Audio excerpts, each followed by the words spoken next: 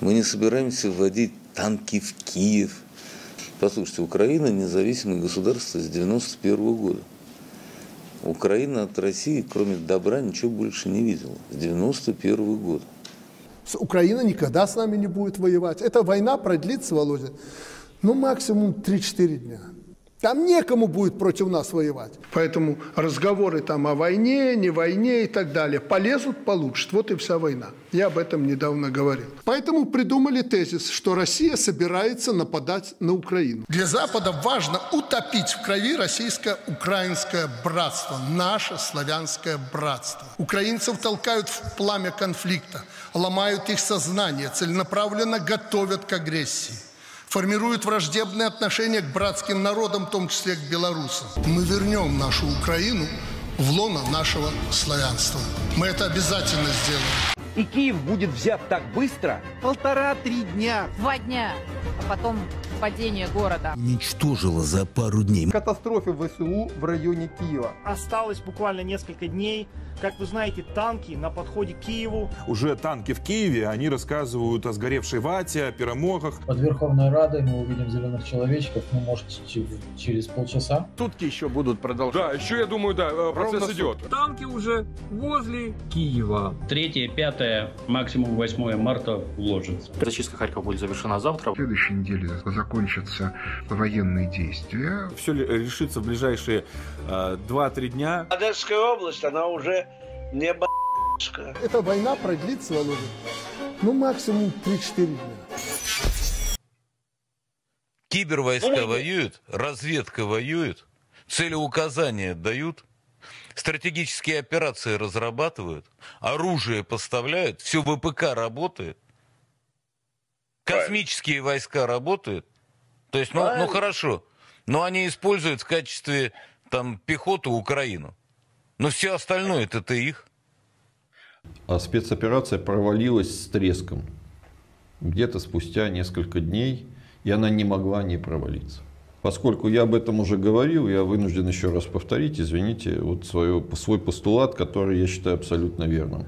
А те, кто будет с ним не согласен, или кто хочет предъявить мне претензии, ну, это ваше дело. Спецоперация, вообще вся эта военная кампания, если так можно шире взять, да, то есть она базировалась на изначально гнилом фундаменте. Даже не гнилом, просто без фундамента было. На самом деле, цель, которая Путиным была поставлена по поводу демилитаризации Украины, она же на самом деле достигнута была еще в апреле и в мае, если честно. Уж... То есть она базировалась на представлении руководства Российской Федерации о том, что Украина осталась в тех же самых лекалах, в которых она была в 2014. То есть большинство людей за Россию? Большинство людей внутренне за Россию. Что большинство чиновников готово в любой момент перебежать на сторону Российской Федерации, если им предложат остаться на местах или предложат больше денег. А что военные либо не будут воевать, либо будут переходить на нашу сторону. Все получилось с точностью да наоборот как умудрились, то есть крымская ситуация или донецкая ситуация э, лета-осени 2014 года. Естественно, на основании подобной оценки оперативной обстановки был создан план военных действий, военной операции, который заключался в том, чтобы быстро бежать во все стороны, не оглядываясь на тылы, в которых все будет нормально. Быстренько добежать до Киева, в Киеве все быстренько сдадутся, Зеленский убежит на Запад, тем более, что уже там как бы посольства уже начали бежать. Еще до начала военной операции. Быстренько, я же не знаю, кого они там планировали, видимо, Медведчука возводят на престол. Он денацифицирует Украину с помощью российских войск и радостно перешедших на их сторону украинских военных и чиновников. Но это еще не все. Заключаем новое газовое соглашение и добро пожаловать в союзное государство России, Украины и Беларуси. Вот примерно так я представляю себе, как планировали. Но это, я уверен, ну, может быть, детали отличаются, но в целом я уверен, что не ошибаюсь. Именно это было целью спецоперации. Результат. Вместо приветствий народа ожесточенное сопротивление, отряды территориальной обороны в каждом населенном пункте, упорное сопротивление украинской армии, ни одной части сдавшейся в начале, ни одной части перешедшей на нашу сторону в начале, без боя, подчеркиваю. Зеленский не сбежал, хоть руки у него тряслись. ожесточенные бои, утыкание, серьезные потери. И вот тут Кремль повел себя, знаете как, собака, выскочившая из подворотни, ожидая, что тот там убежит, и тут-то она его, как говорится. А когда человек или там другое там оказал сопротивление, хвост, вот знаете, между ног и назад. Назад, назад, назад. Так позорно. Понимали, что в горячей войне мы Украину победим за два дня. Чего ее побеждать-то, господи, ну Украина. ну. Людям нагло лгали, дескать, все отлично, мы побеждаем, все цели достигаются и скоро дойдем до Лондона. Будем надеяться, что в ближайшее время к нам присоединится Молдова, Казахстан, Украина несчастная. На подходе Грузия, отказавшаяся участвовать в санкциях. Ну а что будет с Прибалтикой, сами можете догадаться.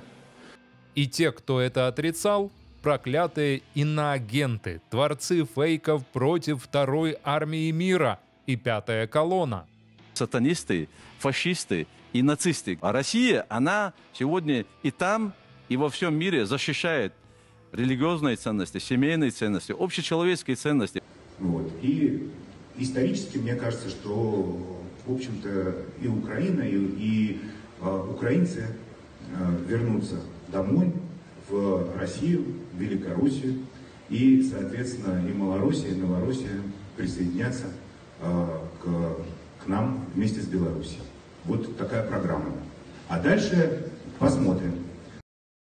Штаты разжигают ненависть к России, Штаты и страны Западной Европы пытаются а, представить Россию агрессором, виновником каких-то военных преступлений, и градус этой ненависти зашкаливает. Поэтому фактически сегодня а, идет война не столько с Украиной, сколько с таким коллективным Западом, который стоит а, сзади украинских солдат. Заодно понимать шведам и финнам простые вещи, что мы с ними будем в прямом боестолкновении только в одном случае, если у нас будет война с НАТО.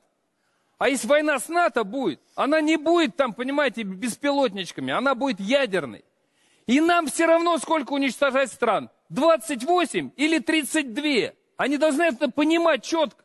У нас бы всего хватает. Ну ладно, не хотите видеть в нашем лице друга и союзника, но зачем же делать из нас врага?